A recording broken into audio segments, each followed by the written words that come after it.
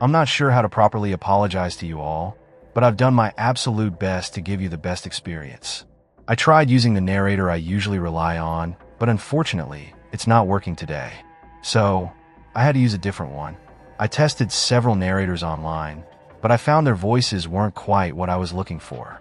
So for today, I hope you'll bear with me as I use this narrator instead. I appreciate your understanding. Previously on The Buried History of Old India, we uncovered surprising details about early photos of India, 1850 to 1865, showing large structures covered in soil and vegetation. Why was India seemingly neglected for so long? Some speculate a massive flood event may have contributed. We saw temples and monuments like Jagannath Sava and Durga Temple in states of disrepair. The idea that these structures were buried and later excavated, like the Kailasa Temple, leads to questions about the technology used to build them. Local histories are often dismissed as mythology, but they provide alternate explanations, such as celestial beings constructing Ellora.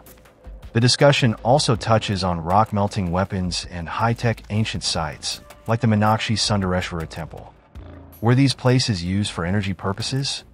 The evidence suggests India's ancient structures may have had technological significance far beyond what modern scholars have acknowledged. Anyway, the top parts of the towers are called kalasha. Wikipedia says they were used as decorative element placed on top of various types of buildings. Remember that statement. This is an 1860 photo of the temple of Jarapatan. You see, it's all just decorative and ornamental. Nothing to do with tech, ancient antennas, and harvesting atmospheric energy. Wikipedia says, present in the form of an inverted pot with a point facing the sky, has are prominent elements of temple architecture.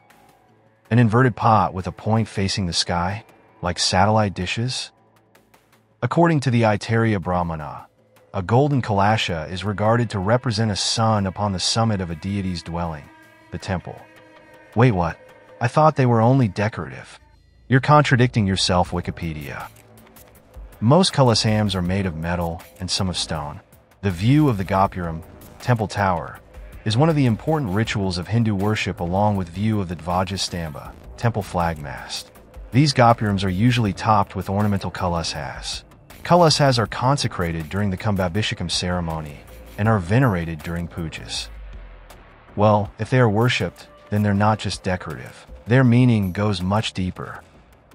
There are four types of kalasas. Singha it is shaped like the horn of a bull. Trikalasha, this is a group of three long kalasas. It is mostly used on gopurams and main gates. Madaka kalasha, this kalasha is shaped like pitchers and earthenware pots. It appears as if pots have been placed on top of one another. Gala kalasha, this kalasha is round and has a very small and fine tip on top. Kalasas are mostly made of metal. The main metals used are bronze and copper. In famous temples like Tirupati, noble metals like gold and silver are used. In previous videos, I showed how ornaments atop buildings are linguistically related to fire and light. It's no different in Hinduism where Kalasha represents the sun.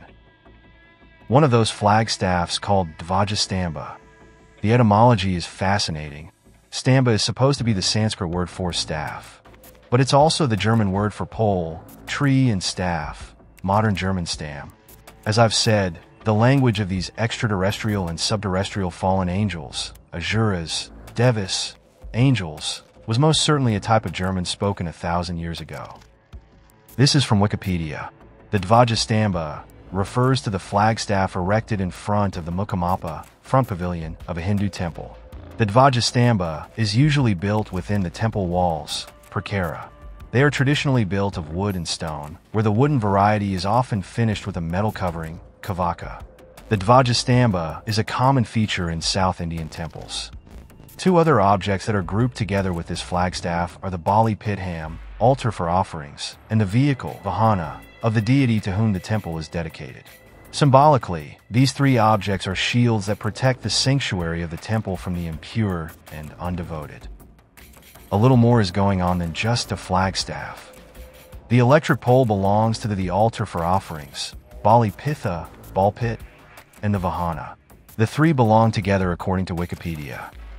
I believe the entire temple belongs together as some type of energy or electricity generating device. This is from a Vedic website, Arts of a Dravidian Temple. 1. Gopuram, a formal entrance to the compound of the temple. 2. Bali Pitam, a sacrificial platform to offer Naivediyam, Bali offerings. 3. Dwajas Thambam, a flag post at a magnetic point to connect the earth and heavens generally between Garbhagriha and Gopuram. 4. Mandapam Chawadis, used for different rituals related to the Murthy temple. 5. Vahana Mandapam, space of Vahana of God. Garuda Mandapam for Vishnu and Nandi Mandapam for Shiva, generally facing their masters. 6. Mahamandapa, a post at a magnetic point to connect earth and heavens? Yeah, I thought so. It's more than just a flag carrier. I guess that's why there are so many flagpoles at every temple. Where is India's more recent history? Peculiar. A lot is known about ancient Indian history, but I learned next to nothing about more recent Indian history. At least not about the things I wanted to know. One example. Gopuram towers have allegedly been around for thousands of years. I had a hard time finding artwork, paintings, drawings, etchings, lithographs of the towers pre-1850. What did these towers look like in the 1600s? 1700s? I came up almost empty. Had nobody ever drawn or painted the towers? That's unlikely. We have thousands of artists showing us buildings around the world, but they are suspiciously absent from India. Try typing South India 1600s or similar into a search engine and you'll see what I mean. Where are the towers? Unless India experienced a hard reset in the early 1800s, this is hard to explain. I think images were gotten rid of because of what they revealed about pre-reset technology.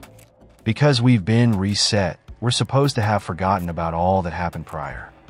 For example, this building, Gaya Bodhi, drawn in 1790, shows a feature that is removed later on.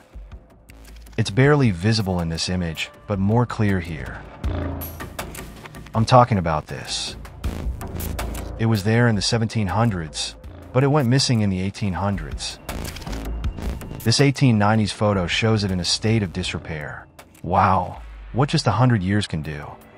It looks like the front pavilion has been removed and the top blown off. If you do a little digging, pun intended, you'll find it very common for stuff to be removed from old structures.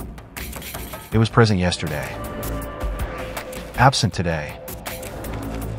This, by the way, is called Temple of Neminatha on Mount Girnar. Old India was attacked. Signs of the ancient war between gods and demigods abound. This is Vithala Temple, 1856. Baladitya Temple, Nalanda, 1872. Asoka, or Ashoka Pillar, Delhi.